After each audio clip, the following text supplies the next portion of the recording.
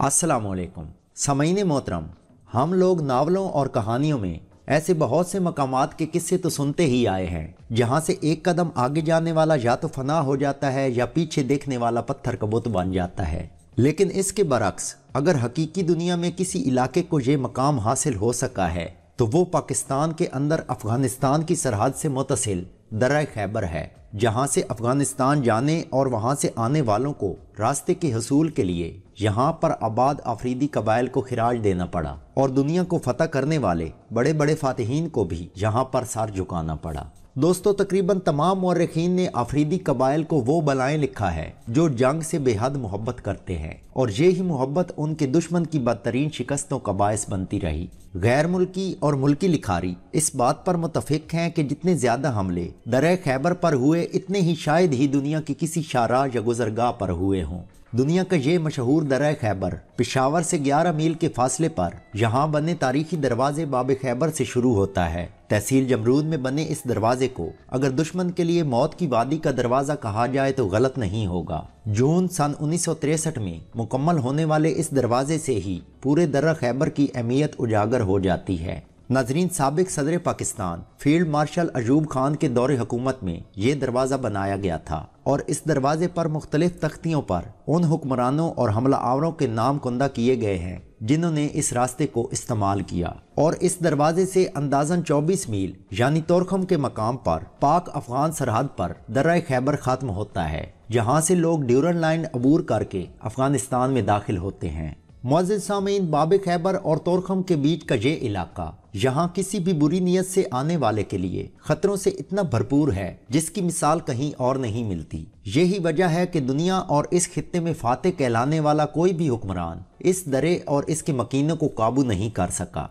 इसके रास्ते के दोनों तरफ़ तकरीबन डेढ़ हज़ार फीट ऊँची पहाड़ी चटाने और उनके बीच नाकाबले दरियाफ्त गार वाक़ हैं। ये दर्रा यहाँ के लोगों के लिए जंगी लिहाज से एक ऐसा कुदरती हिसार है, जिसे दुनिया के किसी जंगी हथियार से फतह नहीं किया जा सकता। और इसका सबसे खतरनाक हिस्सा तारीखी अली मस्जिद का मकाम है, जहाँ पर यह दर्रा इतना तंग हो जाता है कि इसकी चौड़ाई सिर्फ़ चंद मीटर ही रह जाती है। और यही वो जगह है जहाँ की पहाड़ी चोटियों पर छुपे चाँद कबाइल भी सैकड़ों फीट नीचे रास्ते से गुजरने वाले हज़ारों फौजियों के लिए क्यामत बर्पा कर देते और उन्हें जच करके पसपा होने पर मजबूर कर देते थे। यहाँ तक कि उन्हें लाशें उठाने के लिए भी उन कबाइल की बात मानना पड़ती थी। खातिनों हजरात प्रोफेसर डॉक्टर असलम तासीर आफरीदी खैबर से मुतसिल ज़िला औरकजई में गवर्नमेंट डिग्री कॉलेज के प्रिंसिपल हैं और यहाँ की तारीख पर अथॉरिटी की हैसियत रखते हैं।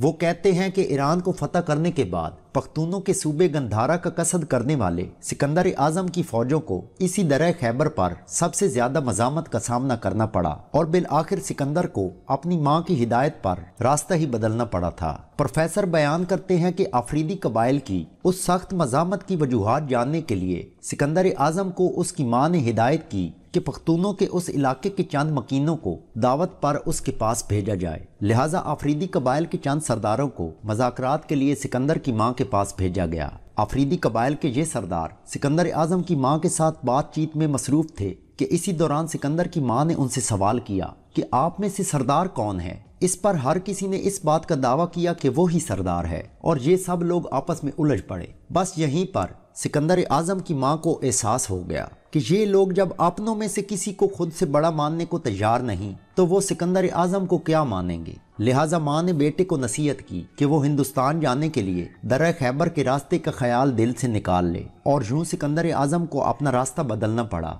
और वो बाजोड़ के रास्ते अपनी मंजिल की तरफ़ रवाना हुआ। ख़वातिनों हजरात सिकंदर आज़म के आज के पाकिस्तान के इलाकों में दाखिले के हवाले से सबक अंग्रेज़ गवर्नर सर ओलफ केरो ने अपनी किताब पठान में लिखा है कि सिकंदर पेशावर में दाखिल नहीं हो सका और उसने जो दरिया अबूर किए, वो कौस जुसिपला और गोरेस थे, जिनके दरमियान एक पहाड़ी चश्मा वाक़ था, जो सिर्फ़ पंचकौड़ा का बलाई हिस्सा हो सकता है, जहाँ से आजकल ड्यूरन लाइन गुजरती है, और उसने आज के बाजोड़ का नवाई रास्ता अख्तियार किया। समईन प्रोफेसर डॉक्टर असलम तासीर आफरीदी कहते हैं कि उन आफरीदियों के उस इलाके जमरूज से लेकर तिरा और चौरा तक मौजूदगी और उनके लिए जलालाबाद से पाकिस्तान के मशहूर शहर मर्दान तक एक पख्तून रियासत कायम की गई थी, जिसके बनाने वाले बाजीद अंसारी या पिरारो खान थे। और उस रियासत में वजीरिस्तान के इलाके भी शामिल थे। वो कहते हैं कि हिंदुस्तान की ज़रात और सरसब्ज शादाबी ही की वजह से उसे सोने की चिड़िया समझा जाता था। और इसलिए फातिहीन ने हमेशा इस पर कब्जा करके इसे जेर नगी करना चाहा और इन फातिहीन ने गंधारा यानी पख्तूनों के सूबे का रास्ता अख्तियार किया, जहाँ पर दर खैबर उनके रास्ते की सबसे बड़ी दीवार बना। इस इलाके की ज़्यादातर आबादी आफरीदी कबीले की जैली शाख कोकी ख्याल से तल्लक रखती है। नाजरीन, आफरीदी कबाइल की यूँ तो और भी कई शाखें हैं, लेकिन हर शाख अलग अलग इलाके में आबाद है और इनकी सबसे बड़ी शाख कोकी खैल, बाब खैबर से लेकर दर खैबर और फिर तिरा के बड़े इलाके में आबाद है। दोस्तों, इसके साथ ही हमारी आज की वीडियो मुकम्मल हुई। अगर वीडियो अच्छी लगे तो इसे लाइक और शेयर करें और उर्दू शाइन को सब्सक्राइब करके बेल आइकॉन को लाजमी दबाएँ ताकि आने वाली वीडियोज़ के नोटिफिकेशन बर वक्त आप तक पहुँच सकें। वीडियो देखने का शुक्रिया। अल्लाह हाफिज।